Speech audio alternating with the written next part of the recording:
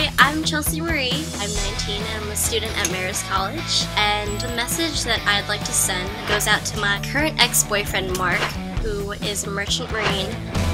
He told me that he can't do this any longer because he's overseas, so I ended things with him. She talked to other guys, but you know, she just kept going back to Mark. Every day she'd kind of talk about like, what do I have to do to get him back?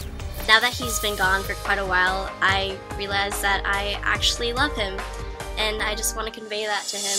And after all this time, I'm still into you. So the song I want to use is Still Into You by Paramore because I think the lyrics definitely describe how I'm feeling towards Mark in the situation. You.